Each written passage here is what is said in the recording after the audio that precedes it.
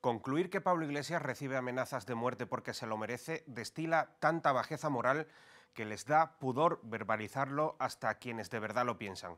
Por eso seguramente hemos escuchado estos días que sí, que muy mal lo de las balas, pero y decenas de vergonzantes excusas detrás.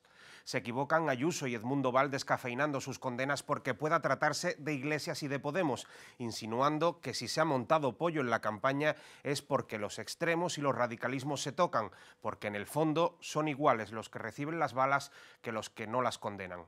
Las amenazas de muerte son ya explícitas a personas muy poco sospechosas de ser radicales, la directora de la Guardia Civil, el ministro y juez grande Marlasca y hoy la ministra de Industria. Está claro que esto no va de amenazas a un partido o a un candidato, que es contra todos y que la marea va subiendo, sigilosa, y amenaza con acorralarnos contra las rocas más pronto que tarde.